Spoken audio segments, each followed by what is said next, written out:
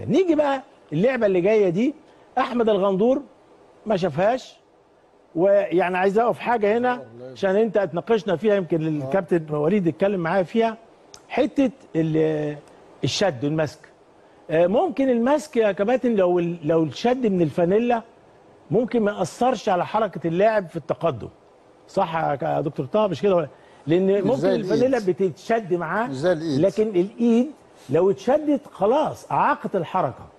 فبالتالي هنا واضح جدا من لاعب دجلة وهو بيشد لاعب الأهلي وهتلاقوا اللاعب حتى يعني مش بيعلي الامام لو هو بيمثل تلاقيه بيعلي ورا معناها إن الشد يعني جابه عكس اتجاهه فبالتالي هنا طبعا هنا الخطأ وداخل منطقه الجزاء كانت لابد الخطأ موجود وركله الجزاء يعني. والفار فين يا كابتن؟ دي حسب ما هو الفار ما شافش خلاص بقى. اتحسب فاول عكسي آه. لا ما اتحسبتش خالص. حسب فاول آه. عكسي لعب عادي لعب. يعني يعني أنا عايز أقول إن اللعبة دي حتى الفار ما شافش الحاجة دي. لكن أنا عايز أقول إن يعني أحمد الغندور كان يعني لعبة الشد قريب يعني.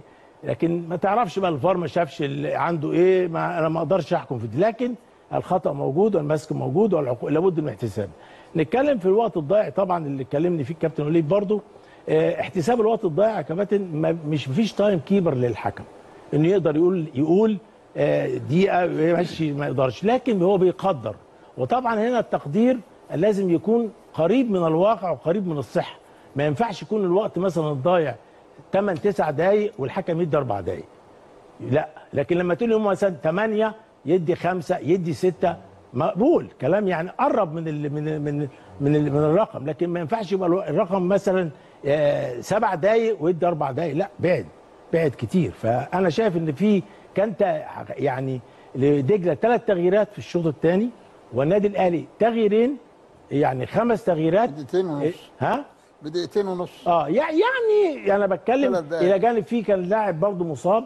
إلى جانب إن هو لما احتسب الأربع دقائق لاعب تم يعني كان واقع في الأرض بي- بيعالجه وعملوا تغيير أثناء ال ال ال ال ال ال اللعب. فطبعا هنا أنا عايز أقول إن الوضع كان لازم يكون يعني أنا شايف إن الأربع دقائق فعلا الاعتراف بتاع النادي الأهلي واللعيبة عقب المباراة على الوقت الضايع احتساب الوقت الضايع كان عنده يعني آه، تحس إن هو مش قريب من واقع الرقم اللي كان المفروض يحتسب. حتى لو كان عمل خمس دقائق بعتقد ما كانش حد هيتكلم. يعني خمس دقائق ست دقائق كان يبقى قرب من الرقم اللي ممكن يبقى مقبول لدى آه، الفريق اللي هو في صالحه احتساب الوقت الضايع طيب كابتن الشناوي ضربة جزاء لم تحتسب للأهلي وبالمناسبة حتى في في الفقرة التحليلية بتاعته ضربة جزاء أخرى حللها حللها الكابتن. الشناوي لم تحتسب للأهلي فالكابتن الشناوي يعني كشف عن إهدار حق الأهلي في ضربتين جزاء وفي الوقت ده والوقت القانوني يا جماعة دي مسألة. يجب مراعاتها لأنه وقت المباراة دي ده جزء من قانونية المباراة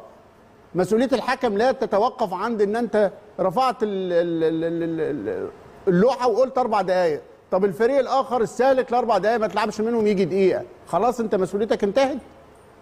يعني هل ده شكل قانوني من أشكال الحفاظ على وقت المباراة؟ ده كان رأي الكابتن الشناوي.